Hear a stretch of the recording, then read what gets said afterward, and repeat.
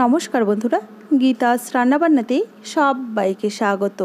আলুর অনেক রকম নাস্তায় আপনারা আগে নিশ্চয়ই খেয়েছেন, তবে আজ আমি আটা আর আলু দিয়ে ময়দা ছাড়াই কিন্তু মাত্র পনেরো মিনিটের মধ্যেই ভীষণই মুচমুচে, খাস্তা, মজাদার এই নাস্তাগুলো বা স্ন্যাক্সগুলো তৈরি করেছি। আশা করছি এই স্ন্যাক্স বা নাস্তাটা আপনাদের প্রত্যেকেরই ভীষণই ভালো লাগবে। আসুন দেখে নেওয়া যাক রেসিপিটা। রেসিপিটা প্রথম থেকে শেষ পর্যন্ত দেখার অনুরোধ রইল। রেসিপিটা তৈরির জন্যে এখানে একটা বোলের মধ্যে আমি এক কাপ পরিমাণে আটা নিয়ে নিচ্ছি। চাইলে কিন্তু অবশ্যই ময়দা দিয়ে তৈরি করতে পারেন। তবে আটাটা পুরোটাই কিন্তু হেলদি অপশান এবার এই নাস্তা বা স্ন্যাক্সগুলোকে কুরকুরে বানানোর জন্য এখানে আমি দিয়ে দিচ্ছি সুজি। এখানে আমি দু চামচ পরিমাণে সুজি দিচ্ছি। সুজির পরিবর্তে চালের গুঁড়ো অবশ্যই দিতে পারেন। দিয়ে দিচ্ছি স্বাদ অনুসারে লবণ, তবে লবণ খুব বেশি ব্যবহার করবার প্রয়োজন নেই। সামান্য পরিমাণে একটুখানি গোটা জিরে, সামান্য পরিমাণে একটুখানি জোয়ান। এই জোয়ানটা দিলে টেস্টটা খুব ভালো আসে আর পেটের কিন্তু কোনো সমস্যা হয় না। হাফ টিস্পুন দিলাম। চিলি ফ্লেক্স চিলি ফ্লেক্স না থাকলে কিন্তু এর মধ্যে একটুখানি লাল লঙ্কার গুঁড়ো অবশ্যই দিতে পারেন। এক টেবিল চামচ পরিমাণে দিয়ে দিলাম ধনে পাতা কুচি। আর দিয়ে দিচ্ছি দু চা চামচ পরিমাণে রিফাইন্ড অয়েল রিফাইন্ড অয়েলের পরিবর্তে কিন্তু আপনারা অবশ্যই এখানে ঘি বা বাটারের ব্যবহার করতে পারেন। এবার এই সমস্ত উপকরণ খুব ভালো করে একসাথে মিশিয়ে নিতে হবে। ময়ান দেওয়াটা যত ভালো হবে স্ন্যাক্স বা নাস্তাগুলো ততটাই কিন্তু খাস্তা আর মুচমুচে তৈরি হবে। খুব সুন্দর ময়ান দেওয়া হয়ে গেছে। এবার আমি এর মধ্যে অল্প অল্প করে নর্মাল টেম্পারেচারে থাকা জল দিয়ে খুব ভালো মতো একটা ডো আমি তৈরি করে নেব।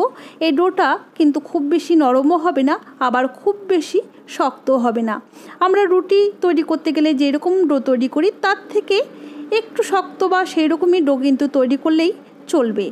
ডোটা আমার তৈরি করে নেওয়া হয়ে গেছে। এবার আমি ডোটাকে ঢাকা দিয়ে সাইডে রেখে এর আমি পুরটা তৈরি করে নিচ্ছি। পুর তৈরির জন্য এখানে আমি দুটো মিডিয়াম সাইজের সেদ্ধ আলুকে গ্রেট করে নিয়েছি আর এখানে আমি দু কোয়া পরিমাণে রসুনকে গ্রেট করে দিচ্ছি। চাইলে কিন্তু রসুনের পরিমাণটা বাড়িয়ে বা কমিয়ে ব্যবহার করতে পারেন। এখানে হাফ ইঞ্চি মতো আদা নিয়েছি। সামান্য পরিমাণে একটুখানি আদা আমি গ্রেট করে দিচ্ছি। চাইলে কিন্তু আদা বাটাও ব্যবহার করতে পারেন। এবার দিয়ে দেব স্বাদ অনুসারে লবণ দিয়ে দিচ্ছি হাফ চামচ পরিমাণে ভাজা জিরের গুঁড়ো। জিরের গুঁড়োটা দিলে এর স্বাদটা কিন্তু ভীষণই ভালো আসে। দিয়ে দিচ্ছি সামান্য পরিমাণে একটুখানি রেড চিলি ফ্লেক্স। চিলি ফ্লেক্সের পরিবর্তে অবশ্যই কাঁচা লঙ্কা কুচি বা লঙ্কার গুঁড়োও দিতে পারেন। সামান্য পরিমাণে একটুখানি শাহি গরম মশলা গুঁড়ো দিয়ে দিলাম। দিয়ে দিচ্ছি হাফ চামচ পরিমাণে চাট মশলা। এই চাট মশলাটা দিলে কিন্তু এর একটা চটপটা স্বাদ আসে। চাইলে অবশ্যই এর মধ্যে কিন্তু আমচুর পাউডারেরও ব্যবহার করতে পারেন। একটা মিডিয়াম সাইজের পেঁয়াজ কুচি দিলাম, সামান্য পরিমাণে একটুখানি কাঁচা লঙ্কা কুচি দিলাম আর দু চামচ পরিমাণে ধনে পাতা কুচি দিয়ে এবার এই সমস্ত উপকরণ একসাথে খুব ভালো করে মাখিয়ে নিতে হবে। কেউ যদি পেঁয়াজ রসুন অপছন্দ করেন, সেক্ষেত্রে অবশ্যই পেঁয়াজ আর রসুনটাকে বাদ দিয়ে রেসিপিটা তৈরি করবেন। এতেও কিন্তু খেতে এর স্বাদ দুর্দান্ত হবে।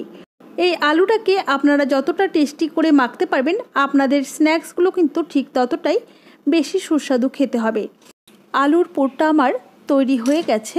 এবার আমি আগে থেকে যে আটাটা মেখে রেখেছিলাম, সেই আটাটা আমি ব্যালুন চাকির মধ্যে নিয়ে আবারও একটুখানি ঠেসে নিচ্ছি।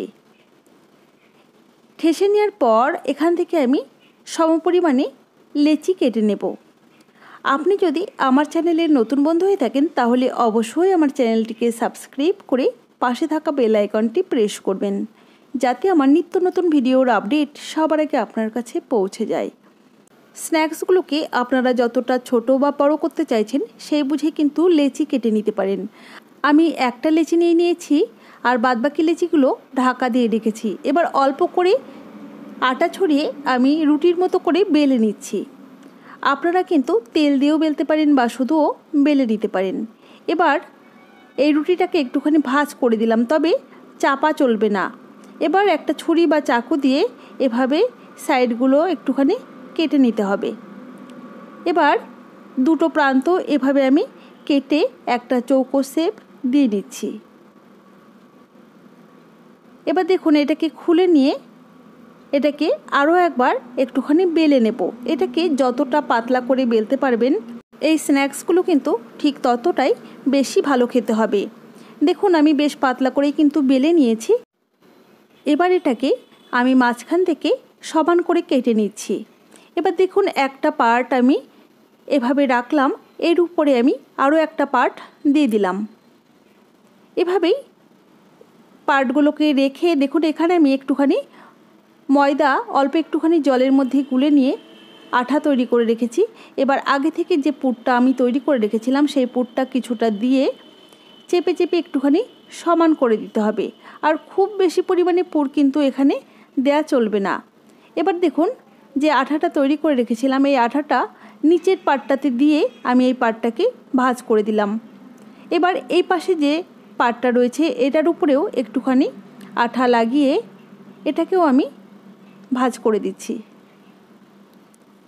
আর এই ভাজগুলোকে খুব বেশি চাপবার কিন্তু দরকার নেই। দেখুন, এই সাইডেও আমি আঠাটা লাগিয়ে নিয়েছি, এবার একটা একটা করে পার্ট আমি উপরে তুলে দিচ্ছি মানে ভাজ করে দিচ্ছি। দেখুন, কি সুন্দর পকেটের মতো তৈরি হয়ে গেল। দেখুন, স্ন্যাক্সটা দেখতে কিন্তু ভীষণই সুন্দর হয়েছে। আর দেখতে যতটা ভালো লাগছে খেতে কিন্তু তার চেয়েও বেশি ভালো লাগবে। এবার স্ন্যাক্সগুলো ভাজার জন্যে গ্যাসে একটা কড়াই বসিয়ে পরিমাণ মতো তেল আমি গরম করে নিয়েছি। চাইলে কিন্তু ঘিয়ের মধ্যেও আপনারা ভাজতে পারেন। আর আমি খুব বেশি তেলে ভাজছি না। চাইলে কিন্তু আপনারা অনেক বেশি তেলেও কিন্তু ডিপ ফ্রাই করতে পারেন।